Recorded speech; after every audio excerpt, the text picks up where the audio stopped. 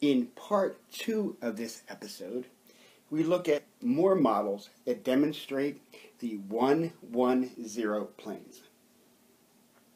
First, we have the 110 plane of the sodium chloride structure. Recall that we can think of this structure as sodium in an FCC arrangement. So the sodiums here are the red spheres, chlorine, the blue spheres, in all of the octahedral holes. We notice again that the 110 face has a rectangular arrangement, whereas the 100 face had a square arrangement. For both faces of sodium chloride, two different elements are present at the surface.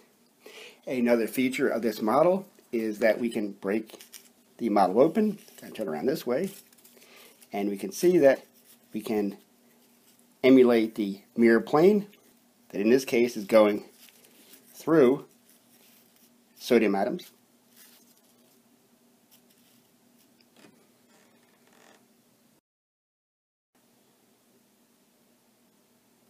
Here we have the 110 face of the rhenium trioxide structure, ReO3.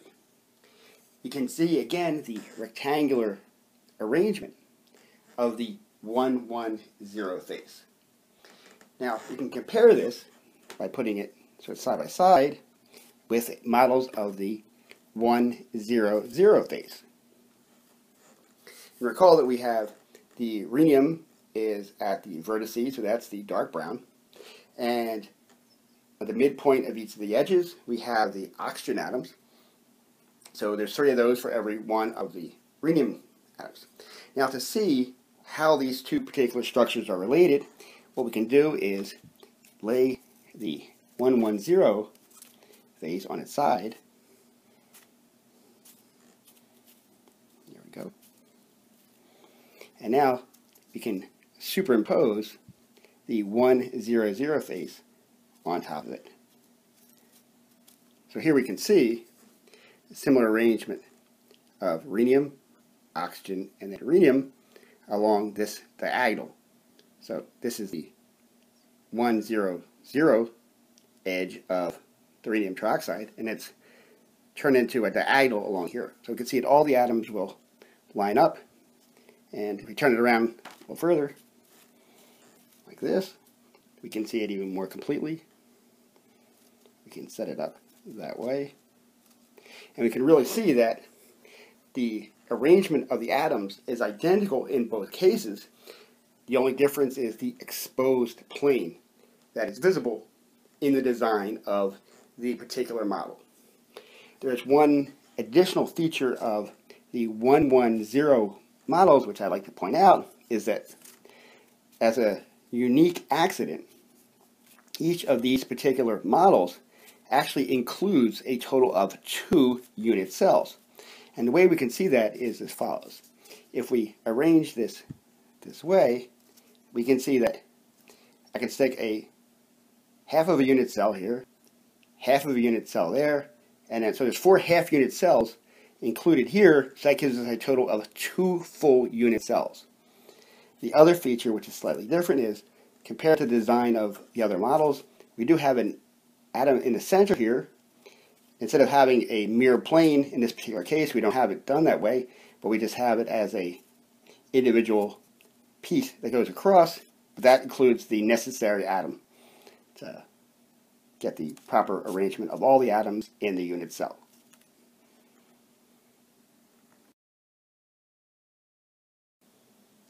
The next structure that we want to look at is fluorite, the compound calcium fluorite.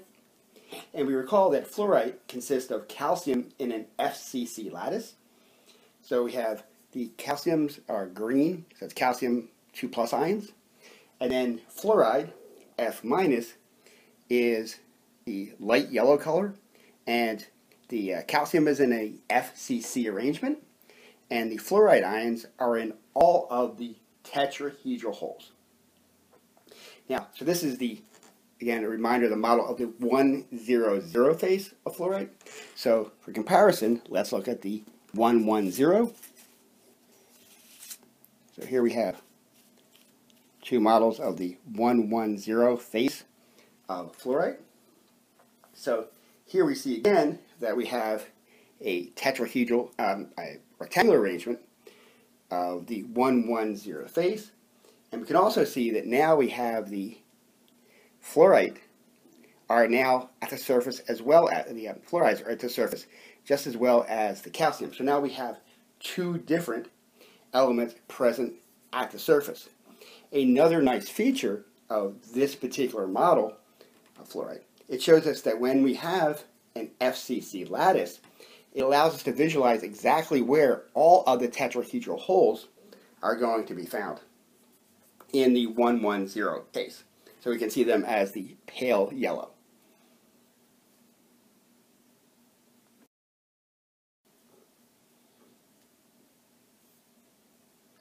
This is the model of the 110 face of a zinc blende, zinc sulfide.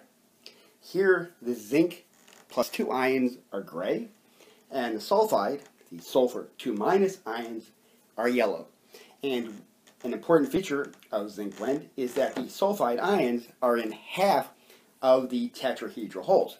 So we can see we have atoms here and there, but absent in these two positions because we're only filling half of the tetrahedral holes and not all of them in zinc blende.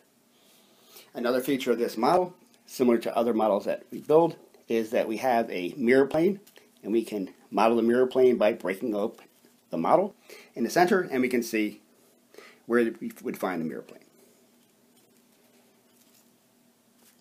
We get a similar situation if we can stack them up to also get a greater appreciation for the three-dimensional structure, particularly as we combine uh, unit cells, and we can get a nice picture of the 110 surface, the 110 plane for the zinc blende.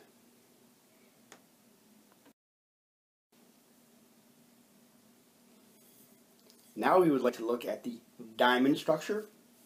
And recall that for diamonds, we can think of it as a zinc blende structure where carbon is in both the zinc positions, the FCC lattice, and also in the sulfide positions, which are half of the tetrahedral holes.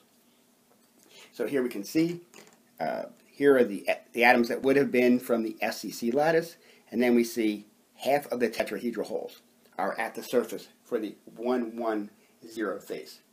This particular phase structure is of particular importance because not only is the structure found for carbon, but also for silicon and germanium, which are incredibly important in semiconductor industry as well as in catalysis. For episode 17, we will be looking at the molecular orbitals of both the tetrahedral and the octahedral complexes. So we're going to look at models of those particular molecular orbitals, and we're also going to derive them by a unique method called the KIM method. So as always, don't forget to subscribe. Have a good one.